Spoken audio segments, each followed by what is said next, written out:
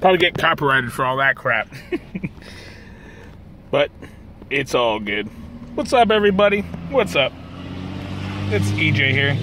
Just out doing my normal stroll and hanging out, stuff like that. Uh, I had to run some errands. Um, I'll be back shortly in our clan. Uh, I know you guys want to start war. So, this is what I expect from war. Uh, I want a, a, decent war clan. I mean, I know you guys want to have fun and stuff like that. I'll let you guys uh, do practice battles against each other. Um,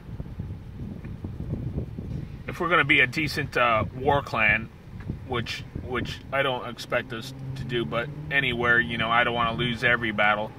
But I want you guys to be smart when you guys go out there to war. Uh, I want you guys to make sure you have all your spells ready, all your heroes ready. Uh, make sure you draw out your CC or have your kill squad ready.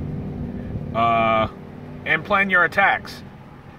Uh, I know one of you was saying, you know, you, I asked to see your uh, your which you war with, and you had a pretty good war lineup, golems, you know, wizards, all kinds of stuff, but you didn't have enough to actually stop a CC if a dragon, max dragon, or uh, you know, witches or or um, uh, what are those those little redhead girls with the axes?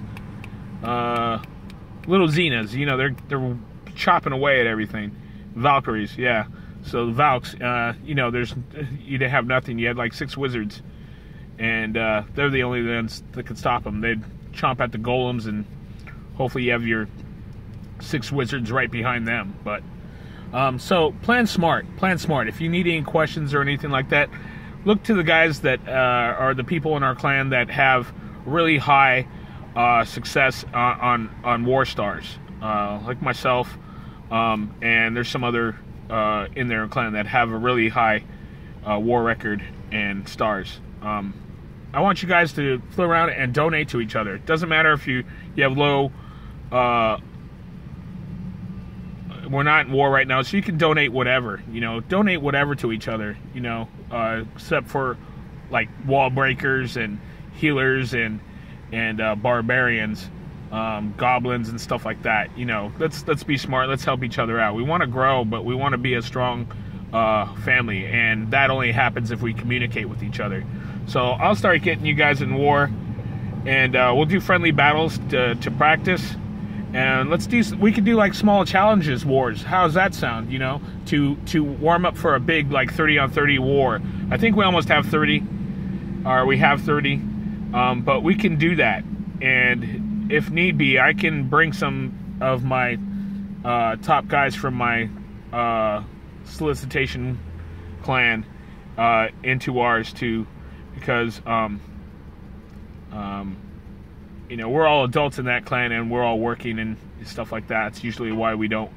Uh, we only work twice a week, and most of the time we're with family and friends, and and uh, you know we we have other jobs and stuff to take care of.